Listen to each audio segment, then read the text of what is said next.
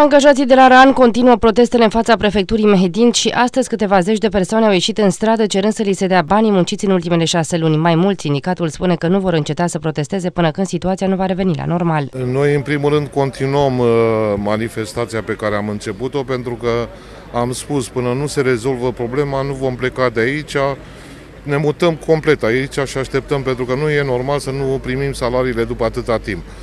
Deci am solicitat o întrevedere la domnul prefect, am înțeles că este plecat la niște festivități, urmează când vine să ne primească.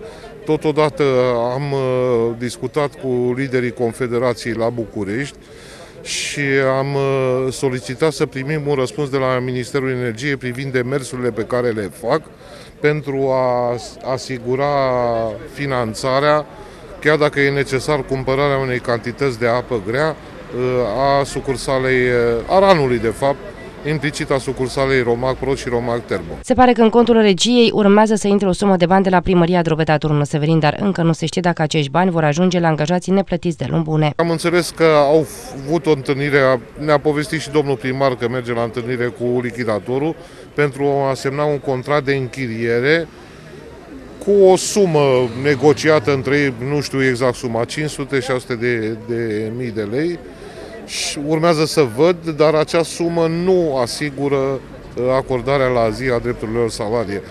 Bine, bineînțeles, o să încercăm ca să discutăm cu lichidatorul să facă demersurile necesare și să înceapă din acea sumă să acorde și drepturi uh, de natură salarială. Liderii de sindicat acuză nepăsarea guvernului în legătură cu apa grea de la RAN.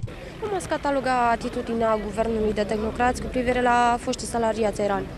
Am spus că se caută un fel de bypassare de la un minister la altul și totodată neasumarea răspunderii niciunui minister în legătură cu salariații Romac Prod și în partea a doua în legătură cu cantitatea de apă grea aflată în custodia sucursalei noastre. În sensul ca și cum nu interesează de această apă grea, ceea ce mi se pare foarte grav și pentru aceasta am făcut și adresele scrise la primul ministru, la ministrul energiei, la care nu am primit nici până acum răspuns. De aia am insistat prefe prefectului de Mehedins, fiind reprezentat al guvernului în teritoriu, ca să facă totul posibil să primim aceste răspunsuri, eventual să le arătăm și presei.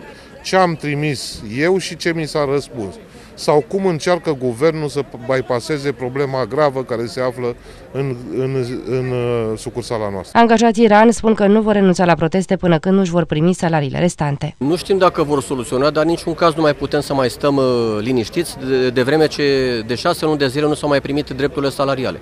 Cine credeți că este vinovat pentru această situație în care vă găsiți?